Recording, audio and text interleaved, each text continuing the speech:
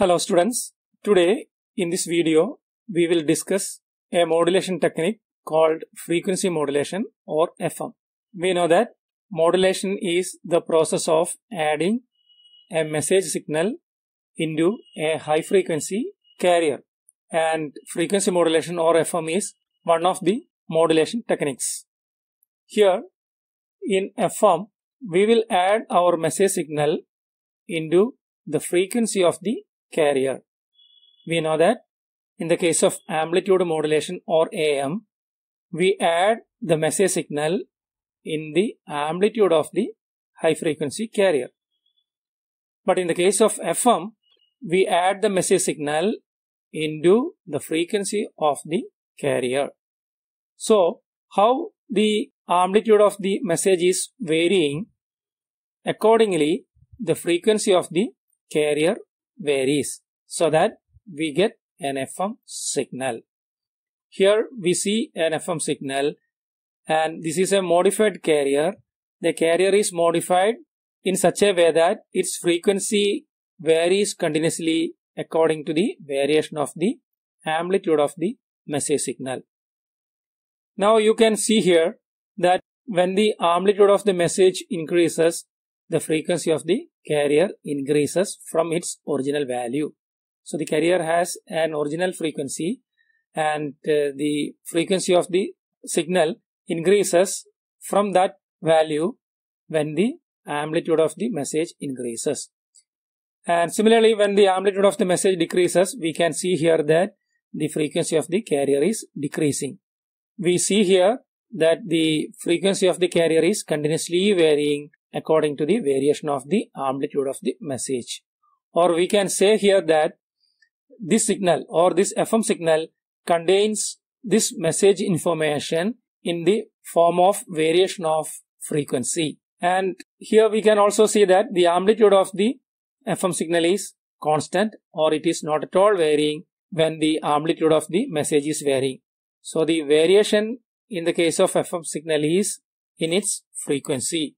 And we know that a noise signal, which is an unwanted signal, which will be added to a signal when it is transmitted. So such an unwanted noise signal is usually added to the amplitude of a signal. So when the noise affects a signal, it will be seen in the amplitude of the signal. Or we can say the noise will be added to the amplitude of a signal. So the AM signal is highly susceptible to noise because when a noise comes, it is added to the amplitude of that AM signal. And we know that our message or information is there in the amplitude of the AM signal. Thus, when a noise is added to the amplitude of the AM signal, it will modify our message or we will lose the information contained in the AM signal due to noise. But when we consider an FM signal, the message is not in the amplitude of the signal, but it is in the frequency. So if a noise is coming and added to the FM signal, modifying its amplitude, but our information or message is secured as it is kept in the frequency, not in the amplitude. So noise effect will be very less in FM compared to AM. This is a big advantage of FM compared to AM. Now, we will define the modulation index in the case of FM. It is defined as the ratio of frequency deviation of the carrier to the highest frequency contained in the message. So it is M equals delta F by FM, where delta F is the frequency deviation of the FM signal. So what is frequency deviation? Frequency deviation means the highest frequency that appears in an FM signal minus the original carrier frequency. So modulation index is that frequency deviation divided by the highest frequency contained in the message signal. Now, what about the instantaneous frequency of an FM signal? It can be written using an equation that the instantaneous frequency f is equal to fc into 1 plus kvm cos omega mt. Here fc is the original carrier frequency and k is a proportionality constant and Vm cos omega mt is our message signal. So when the message signal changes or its amplitude varies, the instantaneous frequency also varies. What will be the maximum frequency contained in an FM signal? If that frequency is f max, we can write it as Fc into 1 plus kVm because the maximum value of cos omega mt is 1. So if we put 1 here, this equation becomes maximum frequency F maximum is equal to Fc into 1 plus kVm. Now the maximum frequency deviation delta is equal to the maximum frequency contained in the FM signal that is Fmax minus original carrier frequency Fc. So that can be written as Fc into 1 plus kVm minus Fc or if we expand this it can be written as Fc plus kVm Fc and then minus Fc. So maximum frequency deviation delta is equal to kVm Fc and modulation index m equal to that deviation delta divided by Fm. So this is the modulation index of an FM signal. Now we will see the frequency spectrum of a FM signal. For an FM signal, it has infinite number of sidebands on the either side of the carrier. So these sidebands are separated from the carrier on either side by FM, 2FM, 3FM, 4FM, etc. So that means the upper frequency side after the carrier FC, the first sideband will be appearing at the location FC plus FM. The second sideband will appear at FC plus 2FM. Then the next sideband will be at FC plus 3FM like that. Similarly, on the lower frequency side, the first sideband will be at FC minus FM. Second sideband will be at FC minus 2FM and so on. So we have the sidebands in FM on the either side of the carrier frequency FC. But even if there are infinite number of sidebands in the case of FM, all are not equally significant. So when we move to the high frequency sidebands, uh, their power or their amplitude will be very very small. So to consider the sidebands of an FM, we need to count only the significant sidebands. So the number of significant sidebands and hence bandwidth increases with the increase in modulation index. So for an FM signal, it's the number of significant sidebands will increase with the increase in modulation index. So we have to note that in the case of an FM signal, if we increase the modulation index, the number of significant sidebands will be increasing that will increase the bandwidth of the FM signal also. And another important characteristic of FM is that the total transmitted power remains constant and it is independent of the modulation index. This is because the amplitude of FM signal is constant. We know that uh, there is no variation in the amplitude of an FM signal. So the power will be always constant when we transmit an FM signal. But we know that in AM, when modulation index increases, the sideband power as well as the total transmitted power will increase.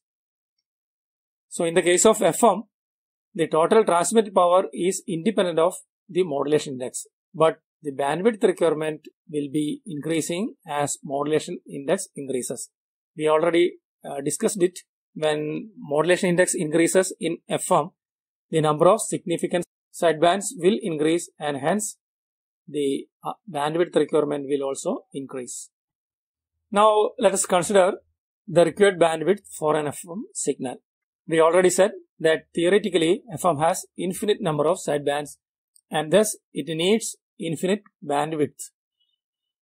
But for calculating the practical bandwidth, we need to consider only the significant sidebands. Significant sidebands means the sidebands having significant power. The other sidebands which have very less power can be neglected. So how many significant sidebands need to be considered while calculating the practical bandwidth of an FM signal? For that, we have a rule called Carson's rule. So according to this rule, we need to consider only m plus 1 number of sidebands on either side of the carrier. Here m is the modulation index of fm. So what this rule says is that we have to consider m plus 1 sidebands on the upper frequency side and m plus 1 sidebands on the lower frequency side of the carrier. So how many sidebands we have to consider in total? It will be 2m plus 1. m plus 1 sidebands on the high frequency side and m plus 1 sidebands at the low frequency side. So total number of significant sidebands we have to consider is 2m plus 1. Then what about the bandwidth? It is equal to 2m plus 1 fm.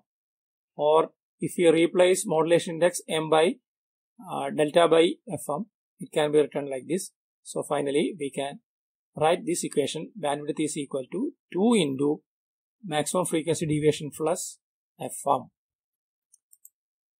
Now we will make a comparison between AM and FM. So we have here a comparison table. The first parameter is power in sidebands. So when we consider the power in sidebands in the case of AM, we know that it is very small. Large portion of the total power will be in carrier rather than in sidebands in the case of AM. But in the case of FM, the maximum part of the total transmitted power will be in the quad sidebands, not in carrier. So that's a advantage in the case of FM. Then what about the total transmitted power?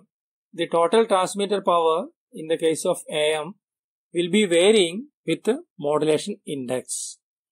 At the same time, the total transmitted power remains constant in the case of FM. Similarly, immunity to noise. What is immunity to noise? Noise immunity means how better the system can avoid noise effects. So when we consider an AM signal, we know that noise will easily affect that signal because our message is carried in amplitude. So noise can easily affect an AM signal. So noise immunity is poor in the case of AM. But at the same time, noise immunity is very large in FM because our message is not in the amplitude of the carrier but in the frequency. And noise cannot affect the frequency of a signal. It can affect only the amplitude. The next parameter is bandwidth.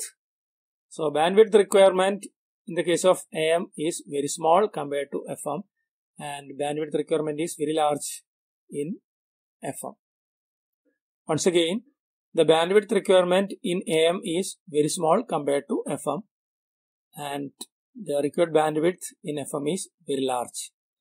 Now, what about circuit complexity?